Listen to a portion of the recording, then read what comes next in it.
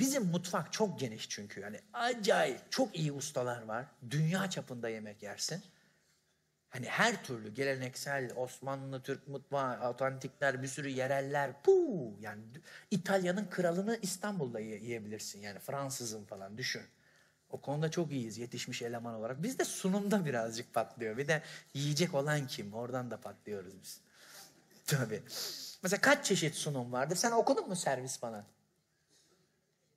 Hayır. Nasıl kendini geliştirmiş ver? Nasıl tonladı hayırı? Böyle böyle bir şeyler yaptı. Hayır olduğunu belli etti yani. Servis okumadın. Bizde mesela kaç çeşit sunum şekli vardır? Bir örnek vereyim. Mesela bir tanesi alakart. Alakart değil mi? He? Yok.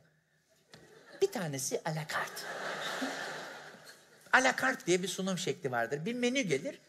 Muhatap oradan bir şey seçer ve söyler. Alakart bu.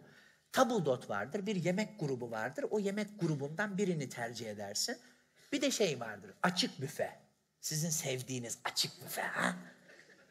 Açık, açık büfe.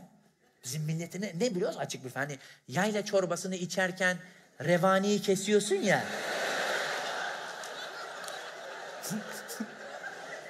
o işte açık büfe. Mesele o. Bizim milletin büfeyle olayı çok acayip. Böyle, götür, topla, toplayın.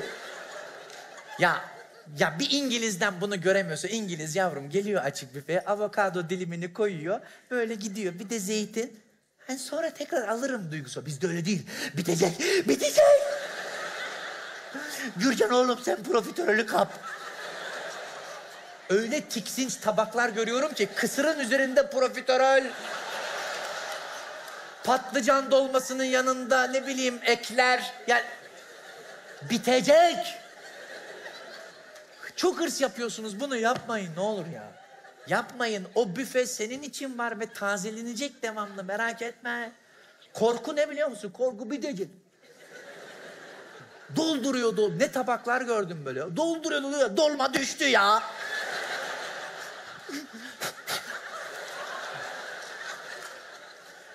Ya hem statik bilmiyor hem de tabağı dolduruyor. Hile nedir biliyor musun? Al işte kardeşinizden bir hayat kurtarıcı bir şey. Şimdi büfelerde tabak küçüktür. 17'lik ya da o 24'lük tabak koyarlar. Sen böyle tribe girersin anladın mı? Yani bu ne amına ben buna bu ne? Fikir şudur. Aldın mı tabağı 17'lik? Gideceksin Amerikan salatasına. Amerikan salatasıyla altlık yaptın mı? Patatesle de istinat duvarı yapacaksın. Tabağı 25 yaptın mı? Yükle. Statik.